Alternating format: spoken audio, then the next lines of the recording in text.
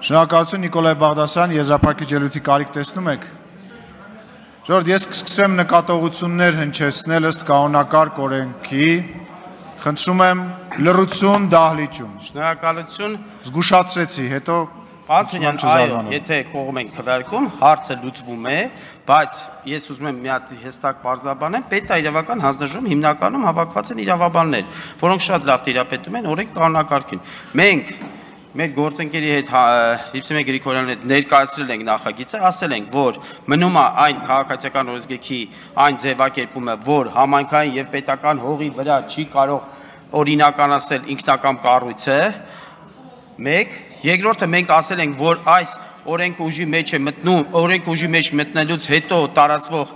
կառույցների վրա դա տարածում եւ ավելացրել ենք ձեր առաջարկությամբ լրացումը։ Եթե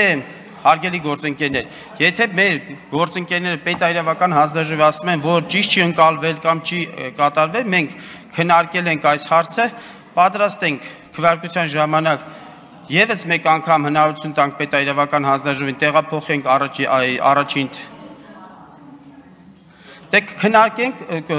քննարկենք այդ քննարկել այդ հարցը մենք կողմ ենք որպեսի բոլոր պետայավական հանձնաժողովի անդամները ճիշտ ընկալած լինեն եթե անհրաժեշտություն կա կարա միջև քվեարկությունը եւս մեկ անգամ բարձաբանեմ քանի որ կա 50 րոպե ժամանակ ասեմ որ այս նախագիծը 50 50 վայրկյան ժամանակ կա այս նախագիծը ձեր մտահոգությունը փարատում է բան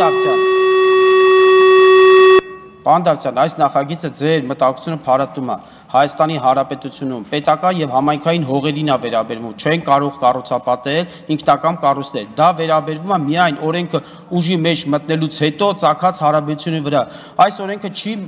վերաբերվում միջև այս օրենքի ուժի մեջ մտած ցակած հարաբերությունի վրա։ Դա կարգավորման նորմատիվ իրավական ակտերի մասին օրենքում այս նախագծի մեջ չպետք է հատուկ նշում դա դրա վերաբերյալ կատարվի։ Շնորհակալություն։